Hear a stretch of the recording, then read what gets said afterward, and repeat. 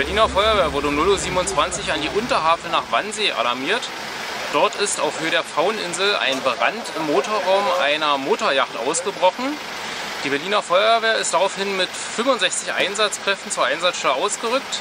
Vor Ort mussten wir erst eine Person mit einer Rauchgasvergiftung behandeln. Diese konnte jedoch nach der Behandlung vor Ort verbleiben. Drei weitere Personen wurden von einem nahegelegenen weiteren Boot in Sicherheit gebracht. Auch diese konnten allerdings dann vor Ort verbleiben. Der Brand wurde mit Unterstützung der Wasserschutzpolizei mit mehreren Pulverlöschgeräten auf dem Boot gelöscht und war nach ungefähr einer Stunde unter Kontrolle gewesen.